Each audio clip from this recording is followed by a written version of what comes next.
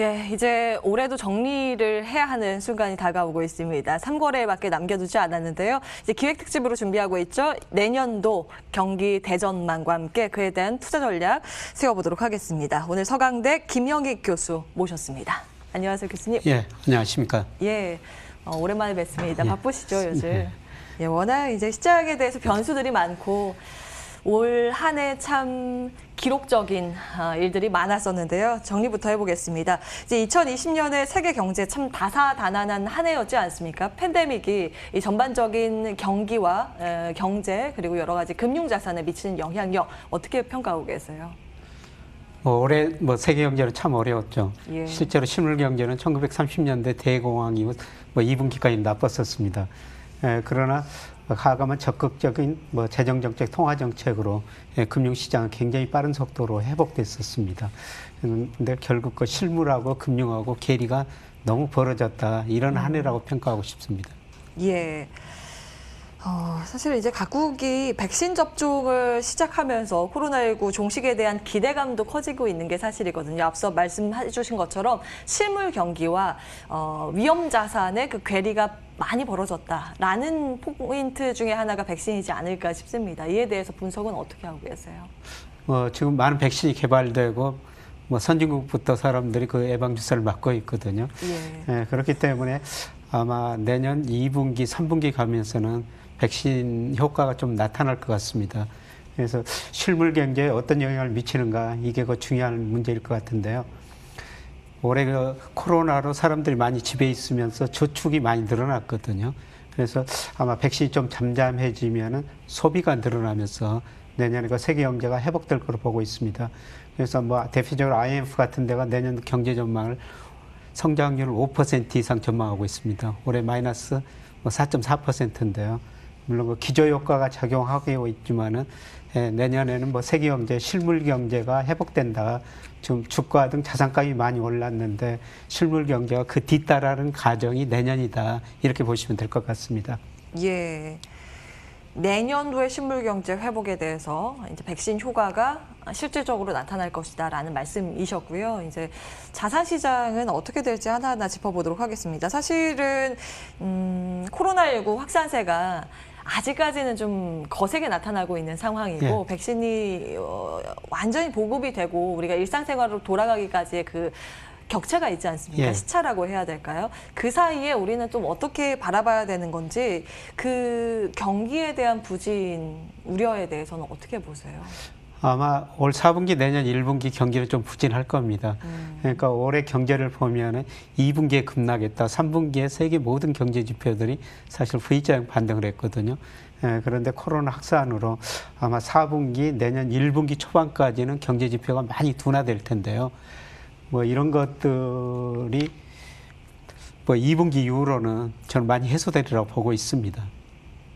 음, 어, 지금 사실 자산 시장의 기대감이 내년도에 말씀해주신 경기 회복에 대한 기대감이 미리 반영되고 예. 있는 거지 않습니까? 이제 끌어다가 반영을 시켰다라는 표현도 등장을 하는데요. 어, 사실은 그로 인해서 지금도 새 역사를 쓰고 있는 우리 시장이고 글로벌 증시 모두가 굉장히 빠른 어, 회복세와 함께 그걸 넘어서는 이제 새 기록, 신기록을 달성하고 있는 현재 구간입니다. 이제 시장에 대해서는 어떤 평가를 가지고 계신지 사실 지금 많은 증권사에서 내년도 이 코스피 목표가를 높여잡기 바쁘다고 해요. 3천선 이야기가 나오고 있는데요. 어, 가능할까요? 뭐 일시적으로 가능하리라 보고 있습니다. 일시적이요. 예, 뭐 지금 2,800 넘었으니까요. 예. 그래서 10%도 안 남았거든요. 음. 뭐 3천 이상으로 상승하리라고 보고 있는데 문제는 지속성일 것 같습니다. 중요하죠. 예. 예. 근데 제가 네, 보는 것은 3천에서 안정적으로 주가 지수가 움직이기 힘들다. 왜 그러냐면은 예, 지금 우리나 미국이나 계속 말씀드리지만 실물하고 예, 주가의 거래가 괴리가 너무 벌어졌거든요. 예, 대표적으로 예, 미국 사만업 생산, 소매 판매, 고용 등 이런 경제 지표로 판단하면 미국 주가 한 30% 앞서가고 있고요. 그 다음에 거기도 유동성 M2를 포함하더라도 20% 정도 제가 평가하기는 11월 말 기준으로 가대평가된 것 같고요. 그 다음에 우리나라도 이 수출하고 일평균 수출 금액과 주가하고 상관계수가 제일 높거든요. 그거로 평가하면 우리나라도 일평균 수출에 비해서 주가 한 30% 정도 가대평가됐습니다. 예, 거기다가 M2 유동성을 포함하더라도 한 15% 정도 가대평가돼 있거든요. 예, 그래서 현재 주가하고 이 실물하고 괴리가 너무 벌어졌기 때문에 여기서 추가적으로 상승은 단기적으로 가능합니다만은 예, 상승을 계속할 것인가, 3천 넘어서더라도 그 3천 수준을 유지할 것인가, 예, 저는 그거는 내년에는 좀 어렵다고 보고 있습니다. 리스크 요인에 대해서 조금 더 구체적으로 말씀을 주시겠습니까? 일단 시장에 대해서 지금 풀려 있는 유동성을 감안하더라도 오버슈팅이 돼 있다라고 보시는 거잖아요. 예, 예, 그렇습니다. 그리고 지금 시장이 어떤 이 강력한 매수세로 올라가고 있는 상황이기 때문에 단기적으로 이 흐름이 이어질 것인데 어 바로 이후에는 그 이 상승을 지속할 만한 모멘텀이 없다라고 보셨거든요. 그거에 예. 대해서 조금 더 명확하게 듣고 싶은데요. 예, 가장 중요한 건 계속 말씀해 실물하고 금융업 괴리가 너무 벌어졌다. 그게 좀 좁혀져야 된다. 그런 말씀이고요. 예. 예, 그다음에 내년에 저는 미국 증시가 그렇게 좋을 것 같지 않습니다. 왜 그렇게 예, 보세요? 지금 미국 예. 경제학자들 사이에 예, 미국 경제에 대해서 인플레 논쟁이 아주 심화되고 있거든요. 인플레이션. 지금 미국까지는 예. 음. 미국 물가가 안정되고 있는데 앞으로 달러 가치가 떨어지고 그다음에 중국이 전 세계 물건을 싸게 공급했습니다마는 더 이상 싸게 공급할 능력이 없거든요. 임금도 오르고 중국이 자기들이 생산하는 걸 자기들이 소비해야 돼요. 음. 예, 그래서 예, 내년에는 그 미국 물가가 오를 것이다. 예, 물가가 뭐 2% 일시적으로 넘더라도 아마 연준은 금리는 안 올릴 것입니다. 예, 그러나 물가가 오르면은 결국 그 시장 금리가 오를 수밖에 없거든요. 최근에 저 미 국채 수익률도 한때 뭐 0.6% 10년짜리가 밑으로 떨어졌다가 0.9% 안팎에서 움직이고 있습니다만은 이거는 벌써부터 예, 시장 금리가 다가올 인플레를 반영하고 있다. 움직이고 있죠. 사실 예. 시장 금리는 먼저 움직이는 경향이 있기 때문에 예, 그렇습니다. 그래서 전 세계 지금 주가나 뭐 집값 등 자산가격이 급등하는데 가장 기본적인 요인 유동성 저금리거든요. 음. 예, 물가가 오르면 이 저금리 문제가 다소 방향이 가 달라질 거라는 겁니다. 시장 금리가 오르고 예, 주가도 우리가 한번 재평가되는 국면이라고 보고 있습니다. 예, 그래서 내년 한 해는 저는 미 달러 지수뿐만 아니라 인플레이션, 미국의 인플레이션이 어떻게 진행되는지 예, 그게 가장 중요한 문제고요. 뭐 인플레가 진행되면 달러 가치가 하락하고 또 미국 물가 오르고 이런 악순환이 벌어질 수가 있거든요. 예, 그래서 내년 초부터 당장 우리가 그 물가가 미국 물가가 어떻게 되는지 이거를 제일 관심 있게 관찰 지켜봐야 될 것 같습니다. 의문이 드는 게 사실은 달러 가치가 떨어지고 인플레이션, 그러니까 물가가 계속 올라가기 때문에 주식이 지금까지 오른 측면이 있는 거 아닌가요? 예, 그거는 뭐 달러 가치가 떨어지니까 아시아 쪽으로는 돈이 몰려들었었죠. 어, 네. 일단 이제 비달러 자산의 주목도가 올라가면서 예. 이제 주식 시장에 투자하는 것도 있고 이제 아시아 말씀하신 것처럼 그 해지 차원에서 아시아 시장으로 그 자금이 흘러간 측면도 있는데 예. 어, 이 논리라고 하면 만약에 이렇게 만약에 지속이 된다 그러면 아시아 시장에는 긍정적인 이슈 예, 달러 가치가 안만하게 떨어지면 아시아 시장에는 긍정적이라고 보고 있고요. 예. 예, 저는 장기적으로 미국보다는 역시 아시아에 투자해야 된다. 뭐 중국에 투자해야 된다. 이런 말씀을 드리고 싶습니다만은 예, 그런데 달러 가치가 급락하면은 예. 이거는 또 다른 문제거든요. 음. 달러 가치가 급락하면은 수출 기업의 타격이다 예. 이렇게 보시는 여러 가지? 경제뿐만 아니라 금융 시장에 혼란을 가져오고 있고요. 음. 특히 달러 가치가 급락하면 미국 물가가 급등할 수가 있고 물가가 급등하면 금리 인상 결국 할 수밖에 없습니다. 예, 그러면 지금 자산 가격에 전 거품이 상당히 발생했다고 보고 있는데요. 예. 그 거품이 해소되면서 미국 주가가 떨어지면은 미국 주식시장뿐만 아니라 전 세계 주식시장으로 자금 유입이 둔화될 거라는 거죠. 오히려 줄어들 거라는 거죠. 음. 예, 그러면 미국뿐만 아니라 전 세계 글로벌 주식시장도 저는 타격을 받을 수밖에 없다고 보고 있습니다. 예. 사실은 환율이라는 게 굉장히 복잡한 거기 때문에 네. 이게 뭐 단순히 오른다 내린다 예, 그로 인해서 어 뭐 시장이 좋다 나쁘다 이렇게 볼 수 있는 건 아닙니다. 이제 속도나 가파르기 이거에 따라서도 또 변수로 작용을 할수 있는 거기 때문에 그 부분을 말씀 주신 거고요. 지금 어, 어찌되었던 달러의 해지 차원이든 여러 가지 이 자산 가치에 대해서 인식 변화든 비트코인 가격이 워낙 이제 뛰고 있어서 이 현상은 어떻게 보고 계시는지도 궁금하고요.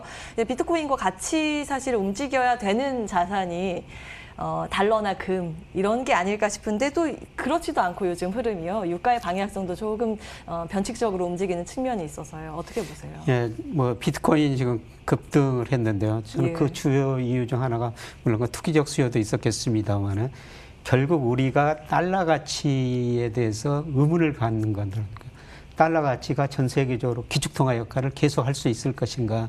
지금 전 세계 그 중앙은행이 보유하는 달러 비중이 한 10년 전에는 71%였거든요. 근데 올 3분기 IMF 통계 보니까 한 60%로 줄어들었어요. 아직도 전 세계가 달러를 소유하고 있지만은 예, 앞으로 미국 경제 어려워지고 달러 가치가 떨어지면 과연 달러 가치가 기축통화 역할을 해줄 것인가 이런 측면에서 예, 저는 비트코인 가격도 올랐다. 예, 네. 아, 예. 최근에 그 금가격은 비트코인이 올랐는데도 불구하고 조정을 보이고 있습니다만은 예, 저는 달러 가치 하락하면 자연적으로 금가격은 올리라 보고 있고요. 그리고 인플레 문제를 계속 말씀드렸습니다만은 인플레가 오면은 인플레 해지 수단이 하나 중 금이거든요. 예, 저는 그렇죠. 예, 예. 금가격은 뭐 많이 올랐다고 지금 조정을 보이고 있습니다. 여기에 끝이 아니다. 크게 보면은 1차 상승이 끝나고 지금 조정을 보이는데 앞으로 2차, 3차 상승이 남아 있다. 이렇게 보고 있습니다.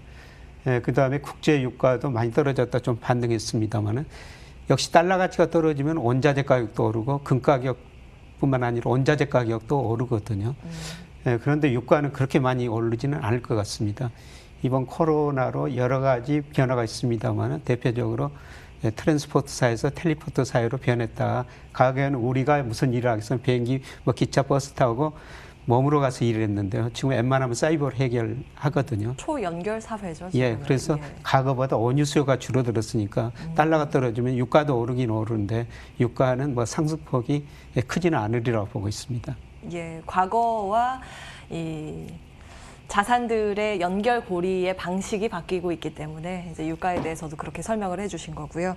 어, 금의 상승세는 당분간 더 지속될 가능성에 무게 중심을 두셨고 달러 가치의 약세 말씀을 주신 거고 어, 미국 주식 시장에 대해서는 좀 보수적으로 보셨잖아요. 그러면 이 좀 거시적인 시각으로 봤을 때 내년도의 투자 전략은 어디에 좀 방점을 찍고 보는 것이 좋을까요?